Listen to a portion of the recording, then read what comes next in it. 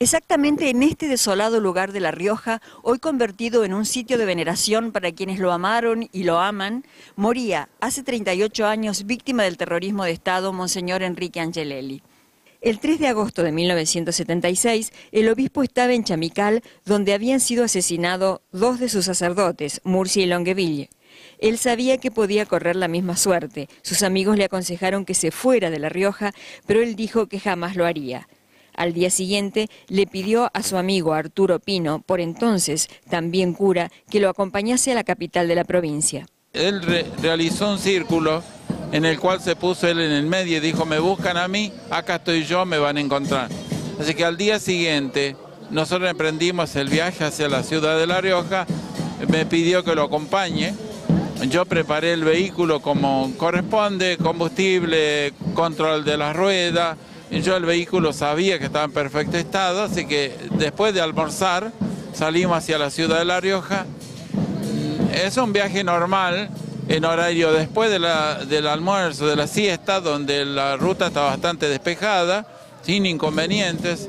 Eh, no, no, tampoco teníamos preocupación de ir mirando que había o que no venía, si había algún otro vehículo, no, no nos preocupamos pero sin, cuando llegamos a Punta de los Llanos, eh, pasando del pueblo de Punta de los Llanos, hay una gran recta que es hasta Paquía, en la cual eh, hay mucha visibilidad y vamos tranquilamente viajando que de pronto eh, un vehículo nos alcanzó sorpresivamente y nos hizo una encerrona, la cual provocó este, un yo sentí un estampido grande, un ruido, una explosión y luego nada más. Arturo, ¿cómo vivió estos 38 eh, años e incluso el desarrollo del juicio?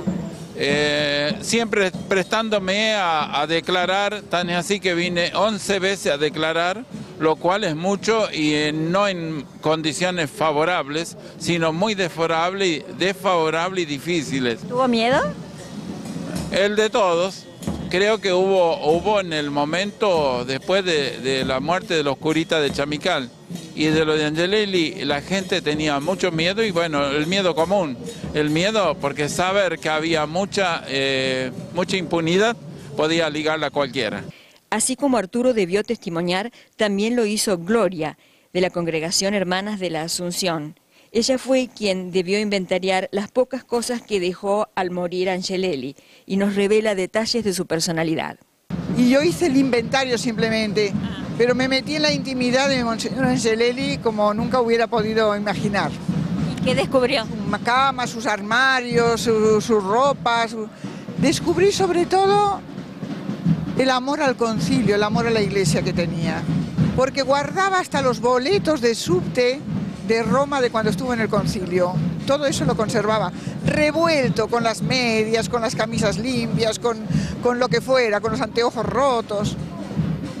Tenía un rosario colgado de su cabecera en la cama, pero muchísimos rosarios rotos por toda la, pieza. Y es que se ve que se dormía rezando rosarios y se le rompían. Acaba de escuchar la sentencia por eh, su asesinato. ¿Qué, ¿Qué le movió? ¿Qué significa para usted? El reconocimiento de un testimonio que había estado tergiversado y oculto y silenciado. Y ojalá que todos comprendamos lo que fue esta entrega de su vida por todos nosotros, sobre todo por los riojanos. O sea, yo le he oído decir hasta el último momento que había tres cosas que había pedido a San Nicolás y que le habían concedido ya dos. De que el padre Virgilio se reconciliara de alguna manera con él, estuvo en el momento de su muerte, no sabemos qué habló, que liberaran a uno de sus sacerdotes que estaba detenido, lo habían liberado hacía pocos días. Hice la tercera, me la callo. Sabemos la que es, que antes morir él que muriera nadie más.